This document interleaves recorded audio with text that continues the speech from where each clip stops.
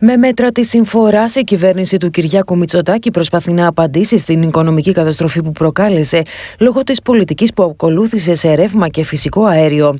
Η κυβέρνηση που έκλεισε τις λιγνητικές μονάδες στο όνομα της Πράσινης Ανάπτυξης βλέπει τις τιμές του ρεύματος να ανεβαίνουν ραγδαία, με την Ελλάδα να έχει πλέον το πιο ακριβό ρεύμα σε όλη την Ευρώπη.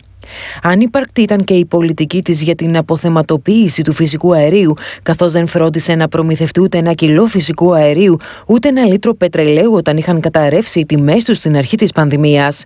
Τότε η κυβέρνηση θα έπρεπε να είχε κλείσει συμφωνίες για την προμήθεια φυσικού αερίου, του οποίου η τιμή ήταν πολύ χαμηλότερη από ό,τι είναι τώρα, αλλά και του πετρελαίου, του οποίου η τιμή πλέον έχει ανέβει περίπου κατά 30%.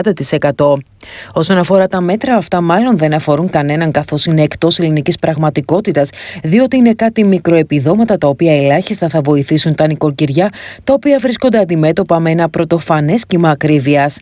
Χαρακτηριστικό είναι πως παρουσιάστηκε σαν επιτυχία πως πέρυσι το επίδομα το πήραν 700.000 πολίτες, ενώ φέτος θα το πάρουν ένα εκατομμύριο πολίτες.